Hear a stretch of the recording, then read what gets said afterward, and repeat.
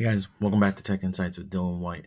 We're here with another video on what is Microsoft. Um, in this video, we're going to dive into a concept and a tool that a lot of people have asked me about over the last decade, right? And how is that? How do you get your start with Microsoft tools? There's so much out there. There's so much to learn. There's so much knowledge, but where it's one place where you can really find it all when it comes to Microsoft security. Fortunately, over the last decade, there's been products from Microsoft like Microsoft Learn. Um, there's been great people out there that are Microsoft certified trainers that have launched YouTubes over the last couple couple years, um, and all those will be in there in the show notes below. But this resource I'm going to talk about today is called the Microsoft Security Academy. And it's the one-stop shop for everything Microsoft. You want to know about a different product coming up? It's in there.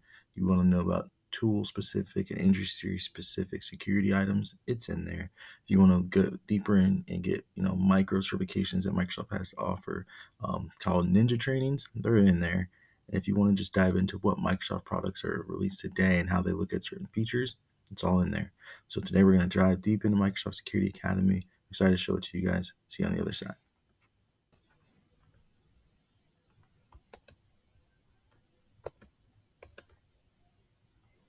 All right, guys, we're back. Looking at the Microsoft Security Academy. I want to just get your guys' thoughts. Um, so be sure to leave them in the notes, but we're going to just dive in, right? So this Academy gets updated pretty frequently, almost every week, if not every two weeks on average, with documentation throughout all the different product lines. It goes deep into everything Microsoft Security is, as you can see, is updated March 11th, right? So they have a couple get started pages. They talk about the world of cybersecurity, right? It's not just an individual effort shared responsibility. They got resources page for all the different modules. talk about new resources like Microsoft Copilot for security, Q&A. They have specializations. I really don't like the specialization page. It dives more into the partner specific. Um, there's some things it talks about so you can kind of focus on industry and how the, they might work, which might get you a leg up in talking, right, and think about what you can do in the outside world in different corporations. But from a learning background specifically, I don't really think it makes that much of a difference. What I do really like is the basics, right? I really like how it has a get started. The getting started will dive into um, the basic cyber hygiene prevents 98% of attacks. As you move into your industry specific and organization specific, specific, if you start a small organization, some of them haven't even adopted things like MFA, um, conditional access, definitely not, right? And so not having those really requires makes a company that much less secure. Even though you think you know, hey, the closer knit you are, the less likely you are to be attacked. But because you're so defined by those, you know, we'll call them aging technologies, less there's less capabilities um, to actually protect you in that environment, right? Less redundancy.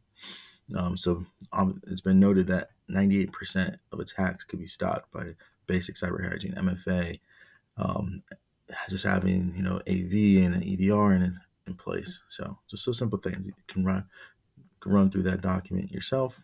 Leave that out there. Microsoft Security 101 is a great tool. We'll dive into that. Like I said, the Get Started page, Microsoft Security 101 is an actual framework and a lesson plan that was developed by Cloud Security Advocate. Um, and they run through the CIA triad, all kinds of different things to get something that's going from zero up to I'd call it a good 50% even of the basics and fundamental knowledge that will lead you up to getting a Microsoft certification called the SC900, which is a fundamentals exam. The 101 training will not train you for the 900, but will prep you for some of the concepts you'll learn in that training. Then dives into CIS benchmarks. The CIS is a framework built upon the Center for Information Internet Standards and has benchmarks built out for Microsoft, right? So different Microsoft products like Azure, um, Microsoft 365, etc., all built on that. Then the Secure Cloud Business Applications, or SCUBA project, built is also built by CISA, another government organization, and it was built for cloud applications services, Google, Microsoft, to have standards for government entities, right? So the government came out and said if you are going to be supplying our work, your information standards need to be up at this tier. So Microsoft worked with a bunch of different partners and organizations to build a GitHub that kind of went out to set controls and to see if organizations had those controls. So this is one that I'm going to do a live feed on And we're going to dive deeper into this one probably tomorrow night. And I'm going to get it loaded. And I was supposed to get it loaded a couple weeks ago, but just have been insanely busy with work. So here we are.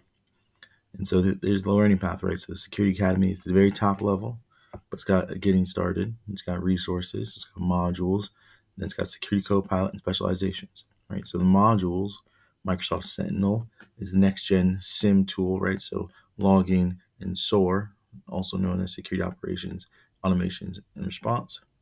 Defender XDR is extended detection response across all kinds of different stacks. Defender for Cloud is Microsoft's Azure, right? So Defender is just cloud security posture management. It can cross into AWS, GCP, blah, blah, blah. There's lots in there. We'll talk about it long, long time away. Microsoft Entra is identity. Network security, pretty straightforward. Endpoint security, also pretty straightforward. Purview is an interesting entity because it contains compliance, also contains insider risk management, but also contains DLP, also known as data loss prevention. Just lots of different things inside the Purview stack on its own. So now we got through that very basic thing, not basic at all. There's lots to learn through there. I just we're running through the main page, right? So here's how you can start your journey. There's different blogs. So as you dive into different spaces, so maybe you're starting out like I really like identity, so maybe the Microsoft Entra blog is, is good for you, right? Maybe you want to dive in there. Maybe you know you really are coming from a network engineering background. You want to learn more about cloud and cloud networking. Azure Network Security blog is right there for you, right? So there's a basics block too, security compliance and identity. That's got the whole form and trifecta, right? So I want to be a ninja. This is something that I dove into very quickly in the article, but I think it's really, really cool how Microsoft laid out their trainings because Microsoft Ninja trainings, as it says, are organized learning modules that guide you through advanced features and functions of the products. So as you're thinking about, hey, I want to dive further into, you know, Sentinel. Well, here Microsoft has a whole Sentinel Ninja training. It has a notebooks training, which is part of Sentinel, and has an automation training, right? But maybe you're like, I just want to be a SOC analyst. So there's Microsoft's Unified SOC Platform Ninja Training. Teaches you everything you should have a start at before you go on the job. This is what I think is a ninja sets Microsoft's training apart. Is that it's like, hey, you can learn the basics and have that ready before you even jump on the job and learn how they do it. And I think it sets you up really well to go into the interview phase. It's like, oh, you know our our tool sets, and you can actually bring something maybe different with a new set of eyes to the team. Very important. Excuse the emails that pop up. Um, and so I think another one that I really enjoyed was I have a few of these, but I think the Microsoft Purview ones were really interesting. I really like the DLP. Um, and I have the, the original Microsoft Sentinel one, I'm thinking about diving into automation. So if you have any ideas around where you guys would like to go, it would be great because I'd love to do it with you. I'll let me know. But one of the areas I definitely think I'm leaning towards is maybe the information protection or the insider risk management. So let me know in the comments. It'd be great to get your guys' feedback. Now, back over to one of the pieces that I really want to talk about for the, the people that really want to transition or looking for, you know, really big head start. I think you need to go to the getting started page, right? So I already pulled it up. I'm going to show you guys how to get there. It says Microsoft Security 101, and it's right here, right? So you get to explore Microsoft Security 101. You just click the link, and it's got these great dive-ins, right? So it lays out the module. This is all through GitHub. But what you can actually do is you can click the course itself, right? So maybe not the banner isn't the greatest one, but let's see. So you can actually hit play on the actual video, and I'll drop these links in there so you don't have to go through all the clicks like I did. But what the course covers right, is basic cybersecurity concepts such as the CIA triad, the differences between risks and threats, what a security control is, forms they take, understanding what zero trust is, and why it's important for modern cybersecurity. Remember, we said smaller organizations haven't ad- adopted the modern part of that yet.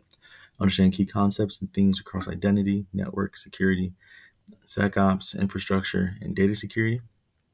Giving some examples of tools used to implement security controls. Microsoft also went into saying what this course will not cover, right? How to use the specific security tools, how to hack or do red team offensive security, and learning about specific compliance standards, right? If you're here to learn about NIST, you know, ISO 27001, that kind of stuff, or if you're learning how to do purple team and you want to know how to do pen testing, you want to know how to use app controls, this isn't it. Another course. It's very conceptual, very built for 101. I want to understand some basics because I'm trying to build my my career out. I'm just really starting with the new career. So I really think the 101 really dives into that.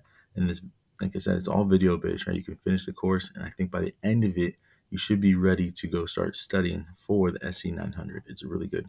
Um, so I think we're going to do that one together live as well. Hopefully, probably Saturday morning before my house wakes up.